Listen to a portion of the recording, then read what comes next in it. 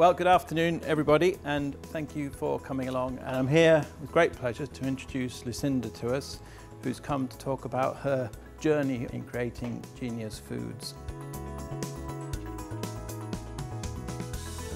The reason I started at Genius is that my son is, well, he was three and he was just basically fading away in front of me. He was just failing to thrive. And the doctor said, yes, you should take him off wheat. Let's just see how he is. And literally within a week, he just felt miles better. And within a month, he put two kilos on. He was actually beginning to fill out. When I started to look at the market um, for uh, a decent gluten-free bread, there was just nothing. It would tend to be very dry and crumbly. And I felt that everyone on the celiac diet really deserved a great deal more. Today's event was um, it was really interesting because Lucinda from Genius Foods was talking about her enterprise journey, becoming a multi-million pound turnover business um, in a relatively short space of time.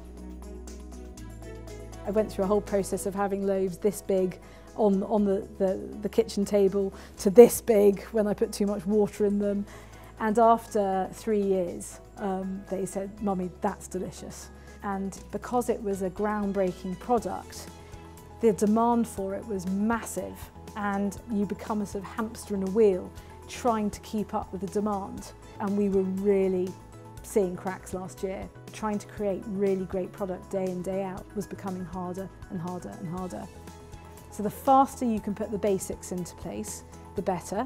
Um, and you know, the moment that people knew that bread was possible, it was, well, what about croissant? What about donuts? Yes, let's try that, let's try that and you lose your focus and then you do everything badly.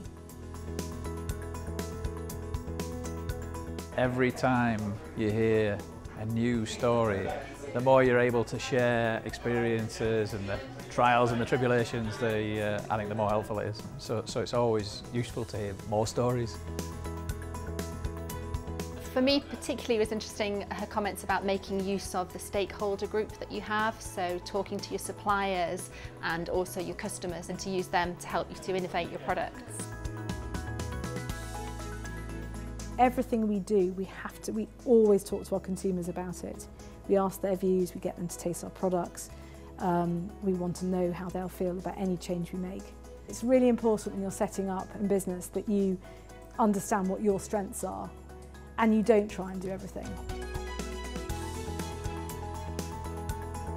Every time you learn something, it makes you and your business stronger because if you're someone that can learn from your mistakes, you're not going to make that particular one again. But it's good to make mistakes because that's the only way you, you progress your business, really. When you're brand leader, it's very important to behave like number two.